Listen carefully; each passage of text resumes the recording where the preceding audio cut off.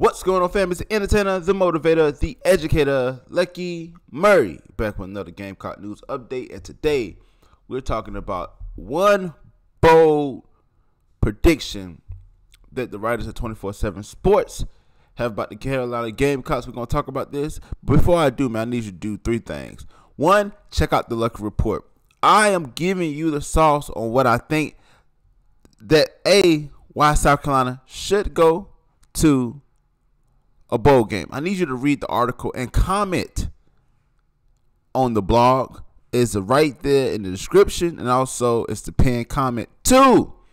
subscribe to the channel. If you haven't subscribed to the channel, if you subscribe, share the video. If you're not, subscribe. Once you hit the subscribe button, hit the notification bell, notification bell, like you know every time I drop a video. I know it's a mouthful, but I have to say that at all times because YouTube, you know, requires that sometimes. But as we can see, guys, spring game is coming up, and predictions in April are happening about football. And the the the guys at twenty four seven Sports gave bold predictions for all the teams, all teams of the SEC. I was gonna count them, but I didn't want y'all to be like, "Well, lucky there's not, you know, 15 teams in the SEC." Off the top of my dome, I don't necessarily remember or know, but the one cool thing about this is the fact that they gave South Carolina some love. So we're gonna look at it and we're gonna talk about this uh, right now. South Carolina, like you said, you, you see Kevin Harris right there. You see the situation. It says uh, bold prediction. Let's get into it.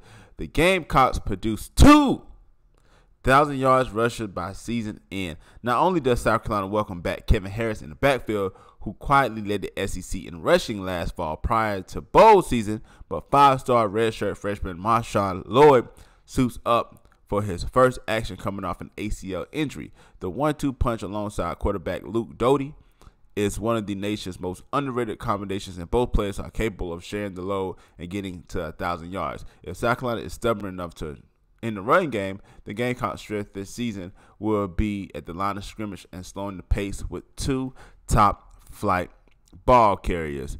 So let's talk about that real quick, man, before we go any further. What what do I think about this, man? Uh, what what do I think about this? I'm going to tell you exactly what I think about this now.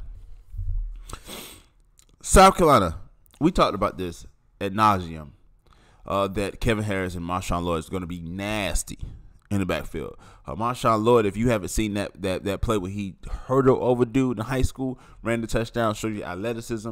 Um, he was going to be a problem last year until he had the ACL injury. But hey, Kevin Harris in a COVID season, um, rush led the SEC in rushing. Like nobody really expected it. He said quietly, and a lot of people when I said nobody expected Kevin Harris to do that, like, well, Kevin Harris, blah blah blah blah. No, he had the potential. I understand that we look at the production and we base it off of what happens last year. Not last year, but the year before, right?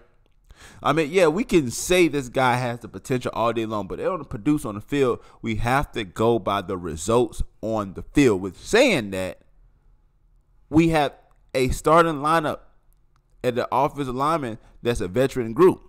Okay, they're much improved from last year because they have, you know, the the the, the jealousy, the jealousy, they, they gel, right? That's the word I was trying to use, but I messed it up.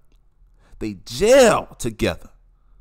You know, they got the cohesiveness, right? They like gorilla glue. I don't know if they're gonna be like gorilla glue, tight, you know, you know, not not moving, but you get my illustrations. Marshawn Lloyd gonna come in, man. And then two, not to think about it, I think the Kerryon Jordan's gonna get some touches from the backfield. Not as primary running back, no, but I mean like as a gadget player, you know, trying to give him the ball in space and you know, short routes, you know, tall sweeps, you know, getting him in the mix. So I wouldn't be surprised if we start the season off with a two back uh backfield, you know, have a two back uh a H back in the middle and then we, we we're in that wing T uh kind of situation. Not wing T, but I I want to say wing T. I don't think it's not wing T. It's the quarterback, H back.